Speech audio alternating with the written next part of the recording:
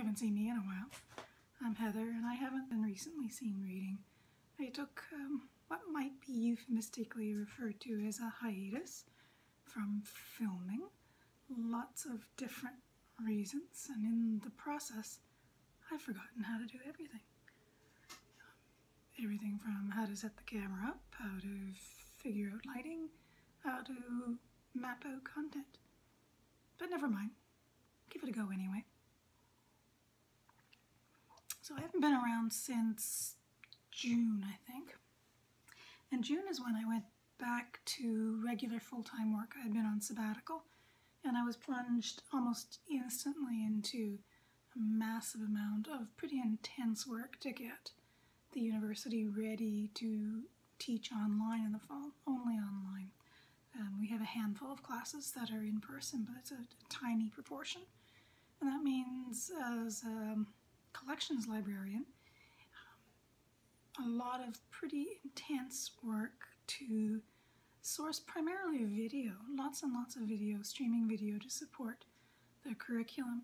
And while it's pretty straightforward to buy packages or bundles of, of videos, if you can fit into your budget, locating individual um, movies that faculty members may have shown as part of a, a sociology course or a social work course or a literature course has proven to be much more challenging. Um, a fairly large team working on it um, in a pretty compressed time frame and large volume. Individual videos are hard to come by because there's um, there's not the kind of long-standing apparatus in place to sell these things to university librarians. Books are easy to buy for a university. There are many, many systems for identifying the book, identifying who can sell it to you, paying for the book and getting the book, whether it's an electronic book or a print book. Videos not so much. Um, stuff that you might be able to watch on Netflix, we can't provide for classes. It's a complicated and often frustrating situation. So since my summer was eaten entirely by streaming video, I didn't have much appetite for making my own streaming video. Um, but we're kind of at a pause in the video ordering before we start to ramp up for the, the winter term. So I thought I'd give another crack at recording some videos. Part of what was going on for me in the summer, besides the new work schedule and new work pace, as I left sabbatical and returned to regular work, is figuring out how to schedule all the stuff that goes into um, filming and recording. And then that landed on top of a bit of what I suppose you could describe as a reading slump. I was reading lot, lots of things, roughly the same amount as I usually read, but none of it was sitting very well with me. And I think that had more to do with my mood um, and general sense of distraction and being weary than the quality of the books I was reading. So it was a bit of a, a frustrating four or five months. Um, but that's okay. We all have um, times in our work lives when things are frustrating and the, the work that we were doing to support the fall terms was very worthwhile doing. Doing online teaching, whether you're the student or the instructor, is a very difficult thing. So I was happy to be able to lend some assistance in that. So I'm just looking at some notes I took here. Um, yeah, so lots of stuff I read just didn't sit well with me, um, mostly because of my, my mood and rather than the quality, I think, of the books. But I did read two or three things that I thought I would highlight and recommend to people if they're curious. A graphic um, historical biography, um, The Three Escapes of Hannah Arendt. It's a biography of Arendt's movement from Europe to North America over the course of the Second World War into the 50s and 60s in North America. And it's great. Um, it's a, got a very deft hand in summing up the, the historical situation, um, the philosophical themes that she was working with in a very light, um, hand. And by light hand, I mean it's it's very different than, say, Gina Siciliano's recent um, graphic biography of Artemisia, Artemisia Gentileschi, which uh, had much tighter drawings, much stricter in its reproduction um, paintings and places, strives much more for verisimilitude, and had um, an apparatus of very tightly written footnotes and blocks and blocks and blocks of rather didactic prose. So what I quite admire about the, the three escapes of Hannah Arendt is how it conveys so much information about the period and the topic without becoming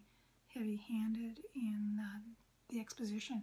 Quite an interesting thing to have accomplished with a, a graphic novel.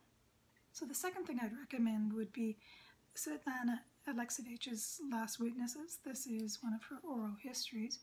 Came out in 1985, but recently translated into English. So it's an oral history of the survivors of World War II who were children in the Ukraine when Germany invaded. It's um, it's heartbreaking, but beautifully done. She's got an amazing way of combining oral histories and structuring the sequence of them so that it tells um, individual stories but builds up a, a sense of accumulation of events and the progress of time. Hardly recommend it. Um, lots of trauma in it, lots of hard stories, and glimmers of happiness and um, not so sad stories in it as well. The third book I'd recommend wholeheartedly is Leanne Betasamosake's Noopiming, A Cure for White Ladies. This is great. It's a Canadian novel, and it's a, a novel that's in response to Susanna Moodie's Roughing It in the Bush. And the characters in Simpson's novel are roughing it in, in an urban landscape. And it's unlike a lot of uh, Indigenous literature in that it's not driven by stories of trauma. So it's very different than the Alexievich, for example. It's it's not plot driven driven at all. It's um, small sections, some poetry, and a really wide range of kinds of characters. Some human characters, some um, inanimate characters, some animal characters, some plant characters. And I quite liked it and would heartily recommend it, especially if you're looking for something for Indigathon, if you can get your hands on it. The thing that stayed with me um, and is going to make me reread it soon is how funny it is. You have to read it, I think, at the right pace to realize how funny it is. And I think if you've lived in a place where Blue tarps from Canadian Tire are ubiquitous. You will enjoy this novel. Heartily recommend it. I'm going to try to do a little bit of reading for nonfiction November, but I don't know that I'm going to be able to line my reading up to the prompts.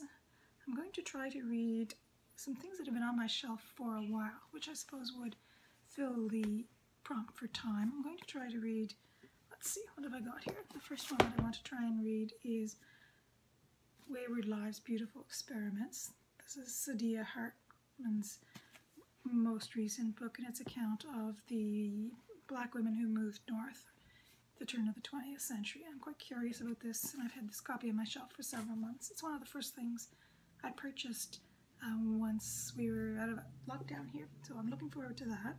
I think that's going to fit the movement prompt for nonfiction November. The second one I'm going to try to get through is Molly Peacock's Paper Gardens. This is the story of Mary Delany, who in her 70s started doing paper cutting and produced um, accurate, astonishingly accurate botanical images uh, with glare um, using scissors and paper.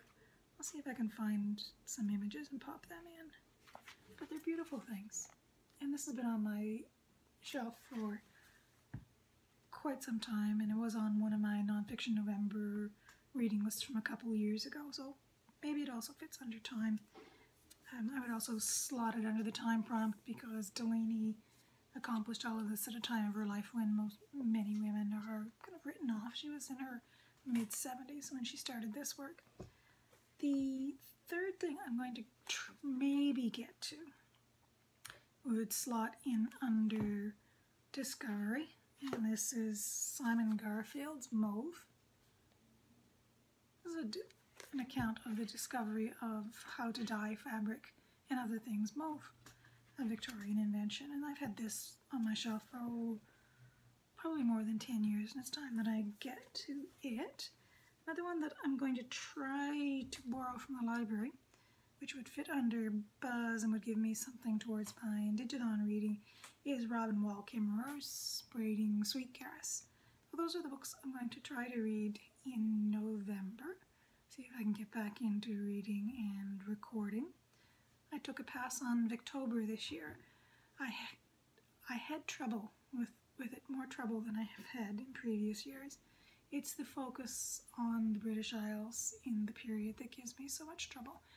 I, I had a pretty extensive list of things that I could manipulate, maneuver my way around to read for the period, but it just didn't sit very well. Um, and I struggled with it because October is Black History Month in Great Britain. So I took a pass on Victober, but I thought I would jump in again and try some stuff for nonfiction November instead. I hope you've been well and that you're taking great pleasure in your reading and that you and your kin are well and that you are taking care of each other. Bye bye.